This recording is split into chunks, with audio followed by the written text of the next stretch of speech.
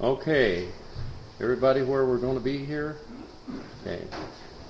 Okay, this is the first class on the second section, and this section here is entitled Christology. And uh, it is the doctrine of Christ.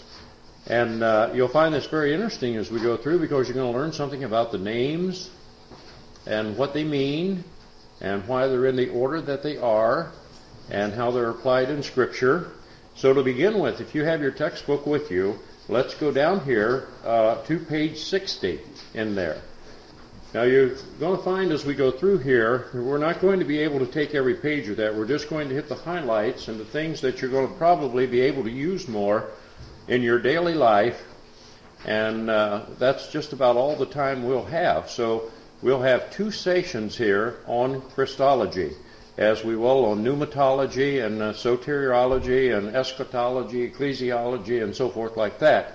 Each one of these sections in Bible doctrines will have uh, two full classes on that of 45 minutes uh, per session, and then another 45 minutes, another class. So we'll have two classes on each section. So this is the first class on Christology.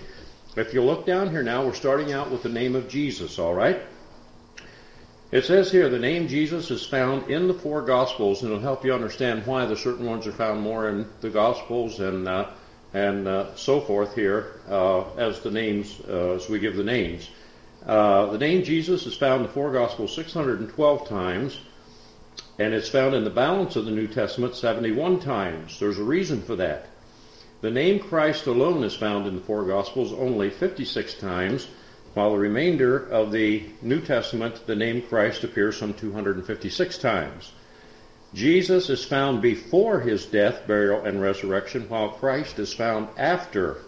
You see, this you'll need to know. Jesus is the personal name of the Lord. Now, that's one question that'll be on the test. It represents, we find out here, it is his earthly name, the name under which he was born, he lived, and he died. It's the name of his humiliation, of his suffering, and of his sorrow. Now, you need to realize at the time of Christ there were many Jesuses, but there was only one Christ. There were many people that were called Jesus, just like there's many people today called John and so forth. We have five Johns in the Bible and so forth, or uh, many Johns, uh, I should say, or John wrote five books uh, of the Bible there uh, Gospel of John, 1st, 2nd, and 3rd John, and the book of Revelation. But there were many Johns. There were many Jesuses. Now, here's what you need to know also. Jesus is the Greek form of the Hebrew word Joshua, and both of them mean Jehovah our Savior. Jehovah our Savior. Now, we look on down here.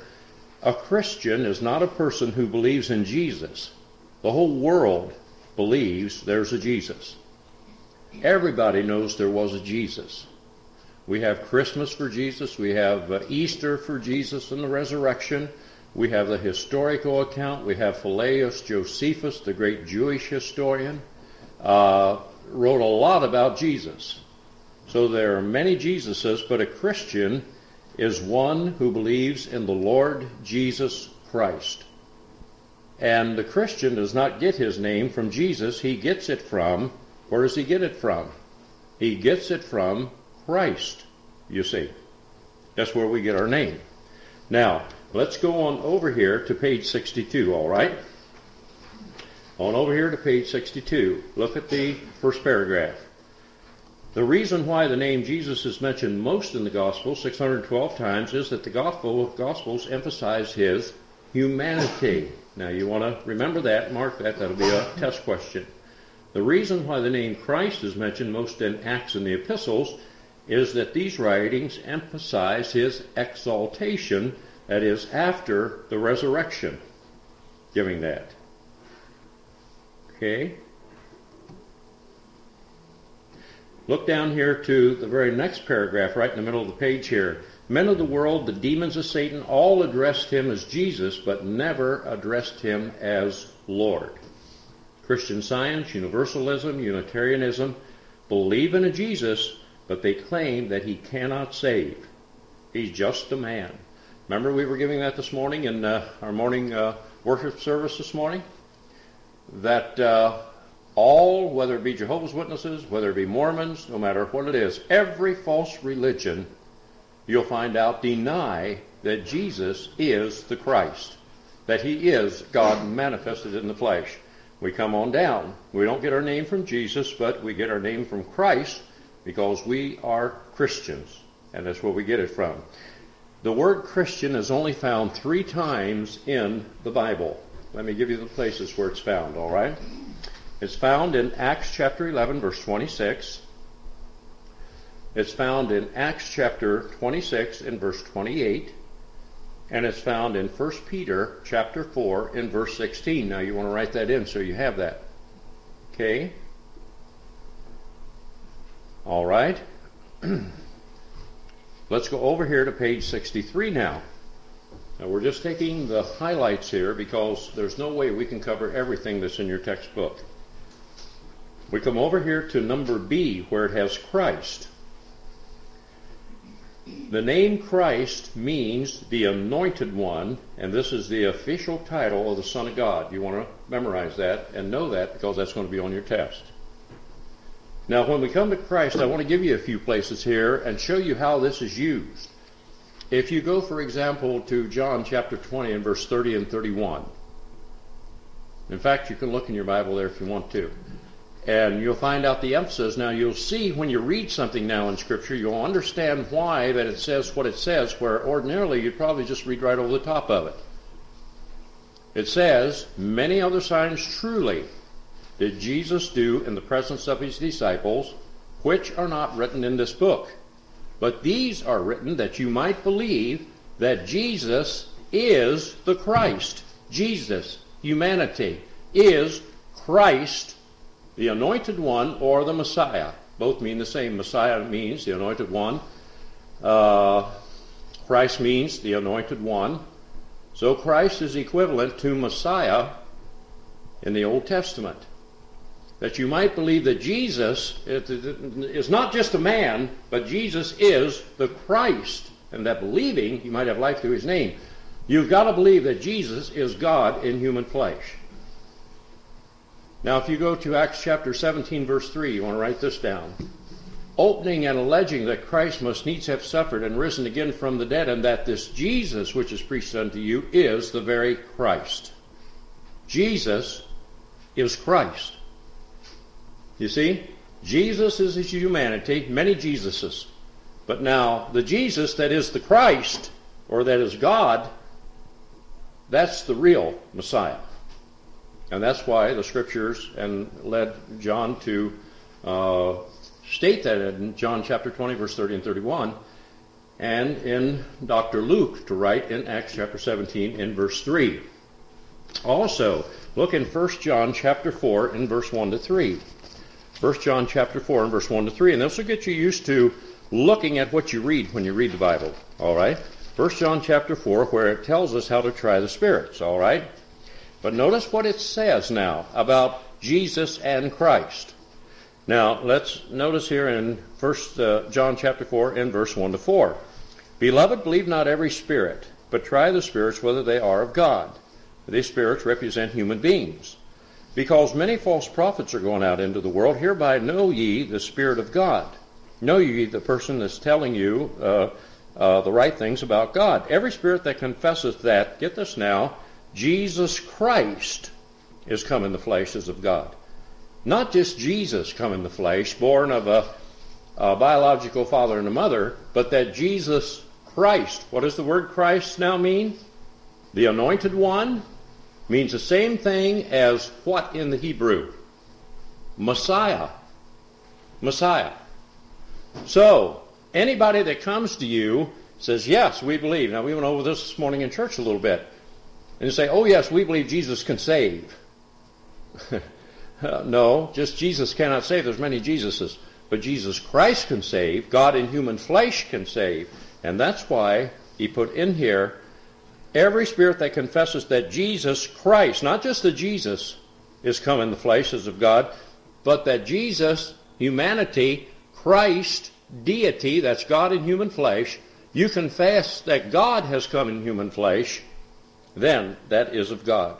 every spirit that confesseth not that Jesus Christ, Jesus, humanity, Christ, deity, that's God in human flesh, is come in the flesh, is not a God. And this is the spirit of the Antichrist, wherefore you have heard, and so forth. Now, while we're over here, let's go over here and go to chapter 5 and verse 1. Whosoever believeth that Jesus is the Christ. Other words, we're believing that Jesus is God. Because Christ means the anointed one, right? What does Messiah mean? The anointed one. Messiah in the Hebrew is the same as Christ in the Greek. Equivalent, same equivalence. So what he's saying here, whosoever believeth that Jesus, humanity, is the Christ, is God in human flesh, is born of God, and every one that loveth him, and so forth. Then you're born again. If you believe that, you're born of God. So you see now why, when you read this in here, and that Jesus is Christ, this is the constant thing from the first century on that they had to fight. There were false teachers that said Jesus was not God in human flesh, just like you have Mormons, Jehovah's Witnesses, Theosophy, Unity, the uh, New Age movement, all of these cults do not believe that Jesus was any more than a mere human being. They do not believe he was God in human flesh. Now, here's a good one you want to add in with this.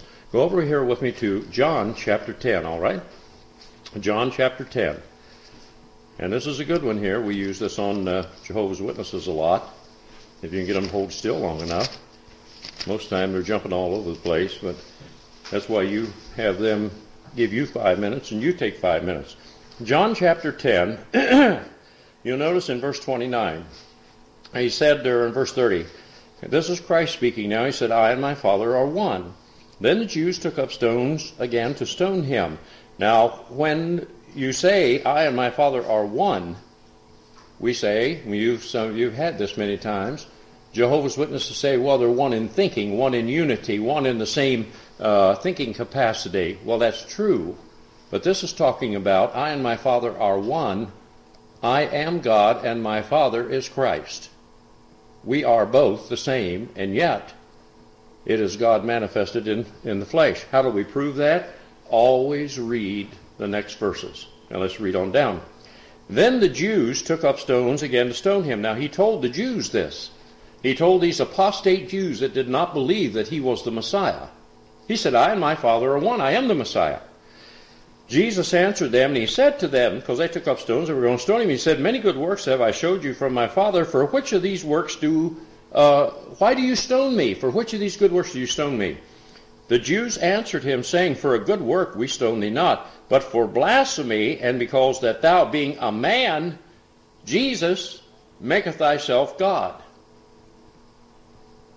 So when he said, I and my Father are one, the Jews understood that he meant, I am God in human flesh. Does that make sense to you? Understand what we're saying? Sure. Okay, well, let's go on down now, okay? You'll need to know the name Christ means the anointed one. This is the official title of the Son of God. All right? Now let's go on over here to page 63. Come right on over here. We find out here on the Messiah, look down here in the middle of the page here on number C, that is Messiah. We find out here concerning the word Messiah, look down here, second paragraph, it is the Hebrew word with the same meaning as Christ, which is the anointed one. That's what we've already said. That you'll need to know. Okay? Now, let's come on down to D, Lord. What about Lord? This is Christ's title of deity, that of authority. Now, you'll need to just put a T beside that for test because that'll be on your test, all right? That's one thing that's going to be on your test. Starting the last paragraph here on the last line, the New Testament word Lord comes from the Greek word Kyrios, which is translated in the authorized version as Lord, God, Master, and Sir. Now, this is interesting because I want you to go in your Bible to Romans chapter 10 verse 9 and 10. Romans chapter 10 and verse 9 and 10. Now, here's where a lot of your MacArthurism, and a lot of you don't know what I'm speaking about there, some of you do. Uh, John MacArthur out of California is probably ruined more preachers than anybody I know of. He has a work salvation. He says he doesn't, but he does. And he uses the roundabout way. Other words, if you say you're a Christian and you don't have works, you're not really a Christian. So that's what he says. And anyway, he uses this here that if you want to be saved, you have to make Christ Lord of your life. Even Billy Graham comes out with this make Christ Lord of all. If he's not Lord of all, he's not Lord at all. That's one of the most damnable little cliches put out by evangelists that you can possibly find. We have a hard enough time after Christians have been saved for a lengthy period of time to make Christ Lord and allow the Lord to control their life. You never have to make Christ Lord as far as submitting yourself to the Lordship and allowing Christ and saying, Dear Lord, anything you want me to do, I will do, and I will make you Lord of my life and trust that in order for you to be saved. You do not have to do that. That again is you doing something or you making a promise or something for salvation, and it falls on dead ears with God because He knows, first of all, you're not going to keep that. There's never been a Christian who has. Is there anybody here that's made promises to God and has never failed in one promise at all of any kind? Anybody daring enough to say that? None of us. You're saved because you receive what is already done for you upon the cross of Calvary, and it was complete when Christ said it's finished. Since he finished paying for your sin and God accepted his payment because he was raised for our justification, he now, who bought your right to go to heaven, offers to you a free salvation, absolutely free, on one condition that you take it for nothing, believing he did that for you. That's the only way you get salvation. If you think making a promise or you coming to the front of the church and coming down the aisle or praying the sinner's prayer,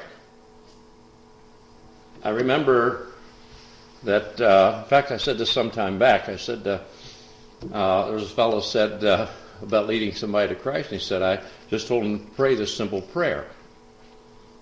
And uh, the point is, I've had this said uh, several times, and I've said, well, where in the Bible does it say you pray this simple prayer? I don't know anywhere in the Bible it says pray a simple prayer. The whole text of going to heaven is not praying any prayer. But the problem is, Christ said, It's finished. I went to the cross so you could go to heaven. I did everything that you couldn't do because you're a sinner. So, me being not a sinner, I went to the cross and I paid for your sins. It's completely paid for. It is finished. It's done. It's tetelestai. No more can be added. Nothing you can do will make me give you eternal life. I paid for it completely, and I will give it to you if you take it for nothing. Because for by grace are you saved through faith, not of yourselves. It's a gift of God, not of works, least any man should boast. now let's get over to Romans 10, 9, and 10. I want to show you what they do with this. I was talking to a man from uh, New Ulm. Happens to be a friend of uh, Bob's mother and father's out there. And uh, he is a Starch MacArthurite that believes you have to make Christ Lord of your life. You've got to promise him that you're going to serve him the rest of your life you can't be saved. and here's the verse that he used and used incorrectly and did not like it when I told him how he used the verse incorrectly, and I'm going to relate it to you how it will be used to you incorrectly, and how that you're going to straighten it out so it's not used incorrectly. Do you find? Follow me. And we'll go through that again. Romans 10, 9, and 10. I can't remember how I did it anyway, so I can't go through it. Okay, Romans 10, 9, and 10. Here's what they say. In verse 9, if thou believe, if thou shalt confess with thy mouth the Lord Jesus, and shalt believe in thy heart that God raised him from the dead, thou shalt be saved. Now, here's what they say concerning that verse If thou shalt confess with thy mouth the Lord Jesus, other words, they say, you've got to confess him as Lord of your life because it says Lord Jesus. Now, they also come back and say, Many of the old manuscripts say this. Now you want to write this down, what many of the old manuscripts say. Doesn't it say in the old manuscripts, Pastor Younce, that if thou shalt confess with thy mouth Jesus as Lord? Now write that down because that's how they state it, and that's how a lot of the manuscripts have it. If you shall confess Jesus with thy mouth, Jesus as Lord. So they come back and say, You see, you've got to confess that Jesus is going to be Lord of your life. Just not talking about that. When you confess Jesus as Lord, Lord is the Greek word kurios, which is equivalent to God of the Old Testament or Adonai of the Old Testament. And what you're confessing is, which goes right along with John chapter 20, verse 30 and 31, and Acts chapter 17, verse 3, and John chapter 10. You're confessing. Now, here is how the verse is properly interpreted according to how it's written in a lot of the old manuscripts. Here we go. If thou shalt confess with thy mouth Jesus as Lord, literally should be confess that Jesus as God, that Jesus is God. Remember John chapter 20, verse 30 and 31? Many other signs truly did Jesus do in the presence of his disciples, which are not written in this book, but these are written that you might believe that Jesus, humanity, is the Christ, the Son of God, and that believing he might have life through his name. Jesus, humanity, is Christ, the anointed one, deity, which is the same equivalence here. If we confess with the mouth that Jesus is Lord, we're confessing, now you got to remember this is written to the Jews here, that Jesus is God in human flesh, and that's exactly why they wanted to stone Christ in John chapter 10, because they said, not, not for good works are we going to stone you, but because of blasphemy, because you claim to be God. Isn't that right? So for the Jew to confess that Jesus is Lord or God meant you're saved now because you believe that Jesus Christ is God in human flesh. Do you understand what we're saying? So when they come back with you with this verse here, if thou shalt confess with thy mouth Jesus as the Lord, it's not talking about confessing that you're going to make him Lord of your life. You're confessing that Jesus Christ in humanity is God in human flesh. Jesus is God in human flesh. Do you follow along? I'll play the tape over about 200 times. You get. Okay. Here we go. Let's go on over now, if you will. Page 66. Now, when you read your Bible and you come across Jesus Christ or Christ Jesus or the Lord Jesus Christ, and here are some of the names, then you'll understand because uh, you'll see what it is.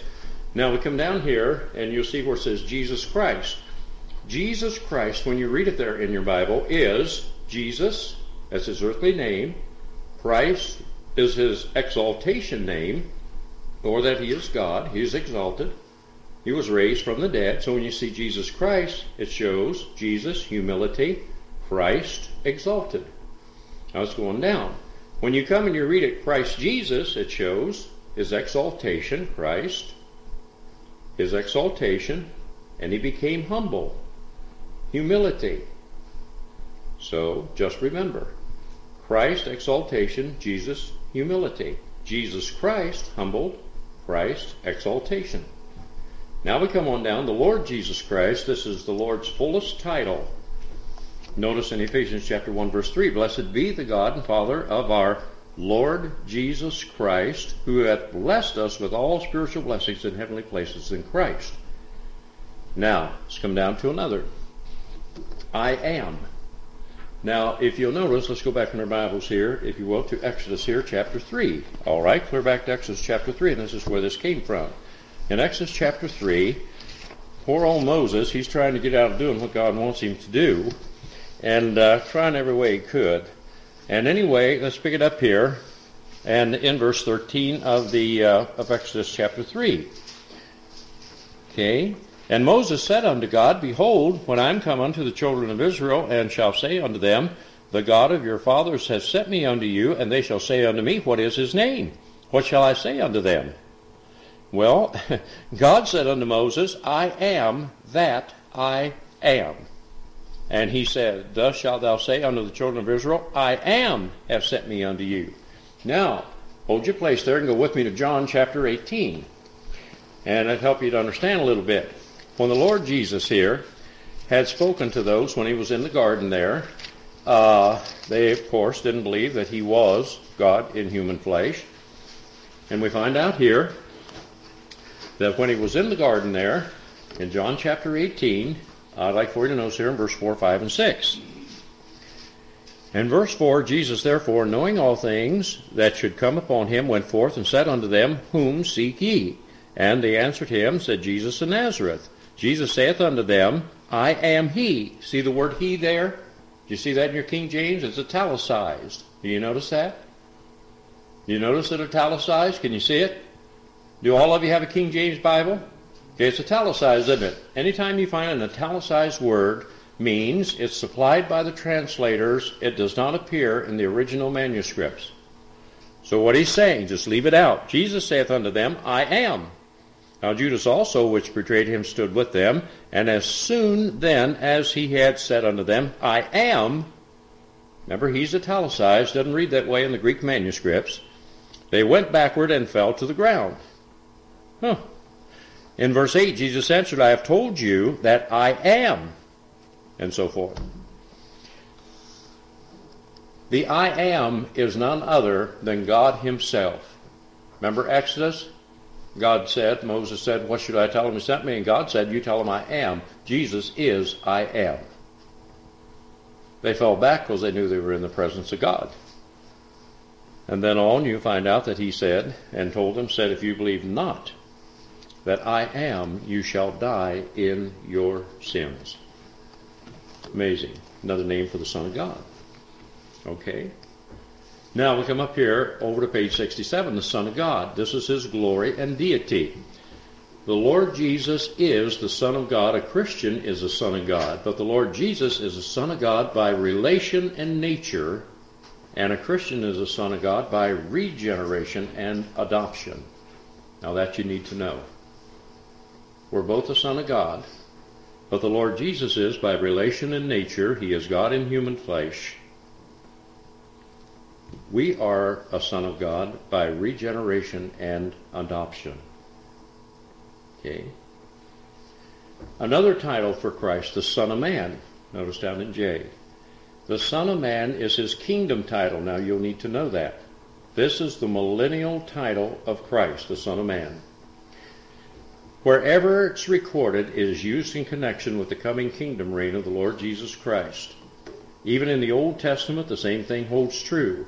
If you go to Ezekiel chapter 37, the valley of dry bones, the whole house of Israel, which shall come to life, again, when the Lord prophesies unto them to return to the land of Palestine, that will be the millennium. So, that's the millennial name of or title of the Lord Jesus Christ is the Son of Man. Now you need to know that because that will be on your test. Okay?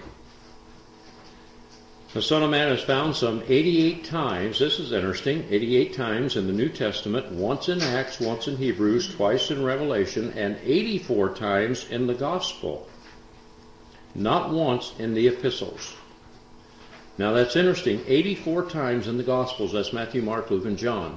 Now, just look up here just a second. Let me give this to you, all right? In the Gospels, and here's something you're going to uh, need to know also. In the Gospels, Matthew presents the Lord Jesus Christ as king. You're going to need to know that. Mark presents the Lord Jesus Christ as the servant. You need to know that.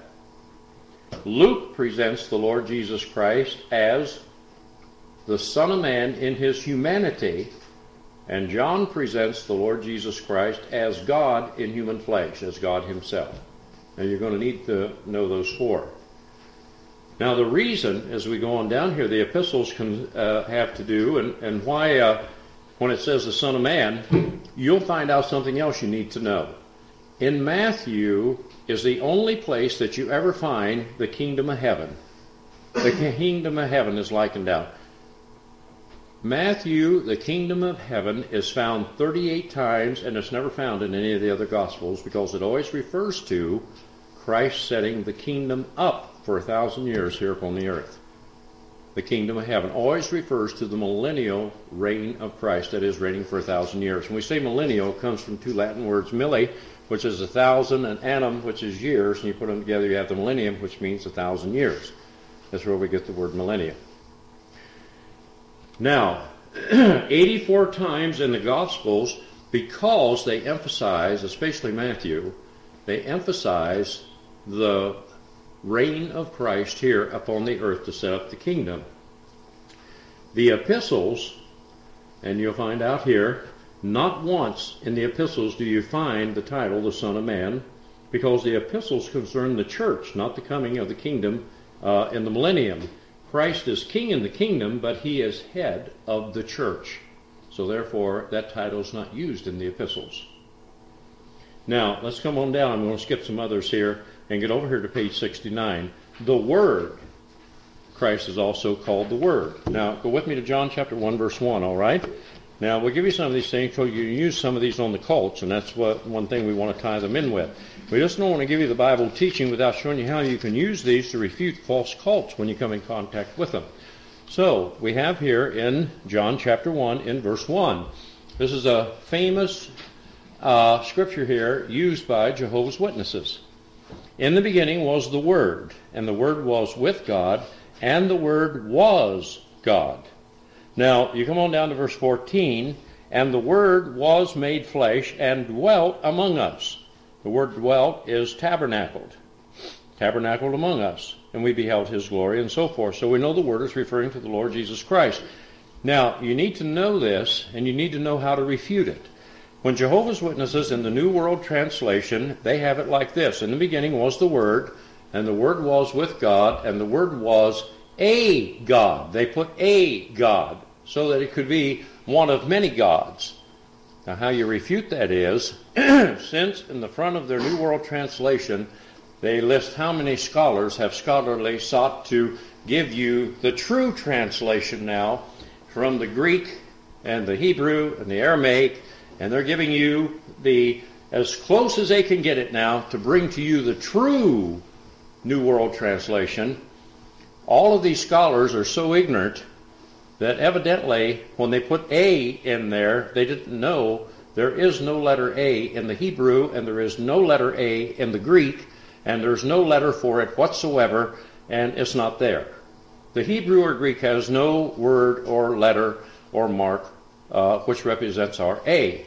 They put it in. Now, that's interesting because if you go to Proverbs chapter 30, verse 6, it says, Add thou not unto his word, lest he reprove thee, and thou be found a liar. So, you want to reference Proverbs chapter 30, verse 6, with your little note that you have, Jehovah's, uh, uh, Jehovah's Witnesses, New World Translation, put a God. The word was a God, and they added the word a, transgressing Proverbs chapter 30, verse 6, add thou not unto his words, and if God wanted A in there, he would have made sure that he would have put some letter in the Hebrew or Greek so that it could be put into the English, but it is not there. So they supplied it. So that's how you refute it. All right? Does that make sense to you?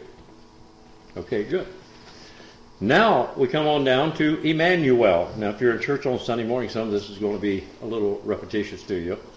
But uh, Emmanuel means God with us, and that is Jesus Christ.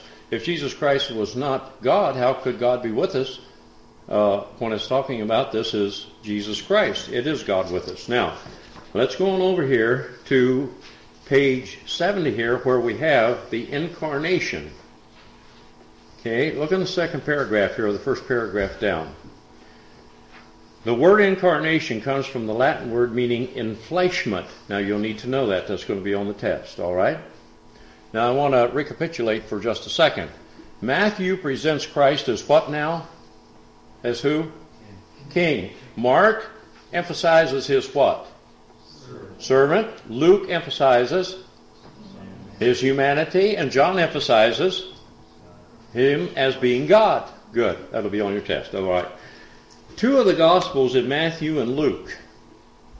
Now, some of you are in church Sunday. Uh, we'll give this out to you. Uh, I didn't bring them tonight. I should have, but I want a little bit of time next week to go over with you on this, but you'll get it also in church as we bring it out on the Christmas messages here. There are only two of the Gospels that have the genealogies in there, and they have to be in there to show that Jesus Christ had a right to set up on the throne, so they trace his genealogies from Matthew clear back to the kingship of David. We're going to study, and we'll get on this a little more next week, where there was a curse placed on the line of David on a man called Coniah. There will be no man of his line ever set up on the throne. So what happened was, there was an older brother of David by the name of Nathan. And through the line of Nathan comes on down through Joseph so that they skip over the curse there of the line from Coniah into David, or David and Coniah. They skip over that and go the route through the older son, who is Nathan, which gives Joseph, who could have been and is in the kingly line, the royal line, so being the stepfather of Christ meant that Christ can claim the throne of David and the kingship because he skipped over the curse. Now we have that, we'll show you how that works and go over that a little bit. Also, coming through Mary's line, he had to be, God had to be in human flesh. So it traces the genealogy back in Luke chapter 3, traces it clear back to Adam, showing that Christ was a descendant clear from Adam's flesh and took on human flesh and so forth, showing God was a man, a perfect man, perfect God, and showing that he skipped over the curse coming through the line of Nathan instead of coming through the line of David, which had the curse on it, and therefore having Joseph, who was in that kingly line, him being the stepfather of Christ, therefore Christ had a legal right to the throne without having to be under the curse of the blood. So he came through the bloodline of Mary, did not have the blood of Joseph there, and skipped right over that curse. So he had a legal right to the throne, and his blood right came not from the line of the curse, but it came from Mary's side and therefore he had a right to sit upon the throne. The only records we have today to show that Christ is of the kingship and has a right to sit upon the throne, he was born a man, God in human flesh, are the two records we have in Matthew and Luke. There are no Jewish records anywhere to be found today whatsoever. they were taken, a lot of them, to Babylon when they came back under Nehemiah and Ezra. A lot of those were brought back when the temple was rebuilt there of Zerubbabel's temple, and then Herod's temple in 46 years to rebuild that and so forth, you'll find out that the records were still there. They brought a lot of those back with them and so forth. But after Jerusalem was destroyed, after Christ was crucified, and after the rebellion of the Maccabees and so forth like that, you'll find out that in 70 AD, Titus, who was a Roman general, he came in and attacked Jerusalem burned it to the ground, and all records, all Jewish records, are completely obliterated. There are none existent today. The Jews over in, uh, in uh, Tel Aviv, that they ordained some 300, 500, something like that a year, getting ready for the millennial to be set up, claim they are Cohens only by as it is passed down by word of mouth, by word of mouth, by word of mouth. There's no records to back it up whatsoever. So they don't know that. But the government accepts it because they're exempt from war, they don't have to pay taxes, and they have a lot of benefits by being ordained as a Cohen or a priest. But they train them down in Tel Aviv and uh, uh, train them how to offer and slay the Old Testament sacrifices and so on and so forth like that. So uh, you have that going on today. But there are no records whatsoever uh, to prove that any Jew is of any line. None whatsoever. There are none there. The only record we have is Matthew and Luke to show that Jesus Christ is of that linkage and has a right to sit upon the throne and claim it. This is the only record and there, and God has preserved that and will be preserved for all time and eternity. Okay, let's go on. All right, here we go.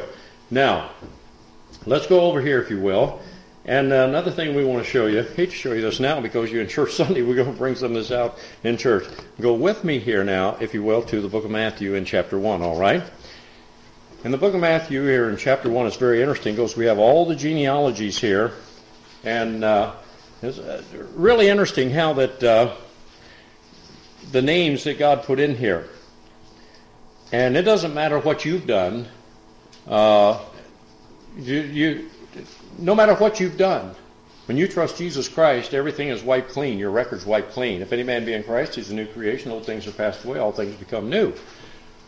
We come down through the genealogies. You'll notice here the book of the generation or the genealogies of Jesus Christ, the son of David and the son of Abraham. Now, we find out something else here as we go on down. Abraham begot Isaac.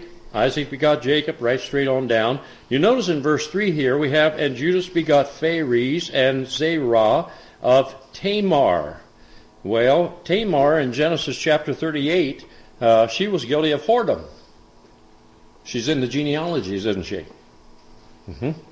We come on down to verse 5. Salmon begot Boaz of Rachab, or that's uh, Rahab. She was a harlot in Joshua chapter 2. But she trusted Christ. She believed God. Then we come on down, and Boaz begot Obed of Ruth. Ruth was a Gentile. She was a Moabitess, and she had no right whatsoever. But through the line of Boaz, she married a Jew, and taken into the line of the Jewish race, a proselyte. She loved God, Naomi, and uh, she loved her, and loved God, and so forth. Her name is in there. Then we come on down. David, the king, begot Solomon. Of her, that was the wife of Urias. And uh, that was uh, Bathsheba. She committed adultery. And her name's written there because she believed God also. She became a believer. It's very interesting. I don't care what you've done, your name's written in the Lamb's Book of Life. Do you know that? You trust Jesus Christ is sealed there for all time and eternity. I don't care what you've done. We've all sinned. There's just a lot of different degrees. Doesn't matter what you've done. When you trust Jesus Christ, your whole record is wiped clean, and your name, already in the Lamb's Book of Life from birth, will never be blotted out because it's just like Christ took his blood, just like putting a piece of scotch tape over your name, just sealed it with the blood of Christ. And there's no way your name will ever be removed from the Lamb's Book of Life. You're sealed and bound for eternity the minute you die, absent from the body, present with the Lord. That's why you'll take some of the most vile sinners and uh, trust Jesus Christ, have a wonderful testimony. You'll take other people that are not vile sinners, but they're just a plain sinner. Maybe a good person, wonderful husband, good father, but they're still a sinner. But all the names, even these vile people right here Rahab, a harlot, Tamar, guilty of whoredom, Ruth, a Gentile, for God loved the world, regardless of nationality or whatever you've done, didn't he? Their names are proof of that. But we come on down and notice this. You'll read as you read all down through here. Everybody begot everybody. Notice in verse 15. Eliud begot Eleazar. Eleazar begot Matthan. Matthan begot Jacob. Jacob begot Joseph. But you'll find out that Joseph never begot Christ because he was a stepfather and he was not the biological father. And Jacob begot Joseph, the husband of Mary, of whom was born Jesus, who is called Christ. Joseph never begot Christ because Christ was conceived by the Holy Spirit and not by the sperm of Joseph. Isn't that something? See how the Word of God just has everything perfect, so there's never a mistake, you see. All right, let's go on. okay, give you a little idea of why the genealogies are there. We're going to skip on over to page 77, all right? Try to get this in here. In page 77 here, speaking still about the incarnation there are four things that it reveals why we have the incarnation. Incarnation reveals what now? What does incarnation mean now? Enfleshment. Enfleshment. That's right. Absolutely. It means enfleshment. Number one, the reason Christ took on human flesh was to reveal the invisible God. Because no man's seen God at any time. And if you look upon God, you'll die. No man can look upon God and live unless he reveals himself in a person as a person or a body. Number two, he revealed himself here in order to fulfill prophecy, because it was prophesied that Christ should come. The third thing, to fulfill the Davidic covenant. Now, let's just read this on down here so that you see the prophecy for it here. There shall come forth a rod out of the stem of Jesse, and a branch shall grow out of his roots. And in that day there shall be a root of Jesse shall stand up, shall stand for an ensign of the people, and to it shall the Gentiles seek, and his rest shall be glorious. It's found in Isaiah chapter 11, verse 1 and 10. Behold, the days come, saith the Lord, that I will rise up to David, or raise unto David a righteous branch and a king shall reign and prosper, and shall execute judgment and justice in the earth. This is speaking of Christ. In his days Judah shall be saved, and Israel shall dwell safely. now, when it talks about Judah, it's talking about the two southern tribes, Judah and Benjamin. When it talks about Israel, Israel represented the ten northern tribes. So when it says Judah and Israel, it's referring to all 12 tribes of the nation of Israel. And he says here, they shall be saved, Israel shall dwell safely, and this is his name whereby he shall be called the Lord our righteousness, which is what in the Hebrew now? The word our righteousness is what, Bob? Huh? Jehovah Tsidkenu, right, that's it. T S I D K E N U, that's what it is. Tsidkenu, all right, that's good. And then, men and brethren, as found in Jeremiah chapter 23, verse 5 and 6. Then we read on down in uh, Acts here in chapter 2, verse 29 31. Men and brethren, let me freely speak unto you of the patriarch David, that he is both dead and buried, and his sepulchre is with us unto this day. Therefore, being a prophet, and knowing that God had sworn with an oath to him that the fruit of his loins, according to the flesh, he would raise up Christ to sit on his throne. He, saying this before, spake of the resurrection of Christ, that his soul was not left in hell, should be Sheol, or Hades, neither his flesh did see corruption. So that was prophesied. Now, the fourth thing that the enfleshment or Christ taking on flesh did was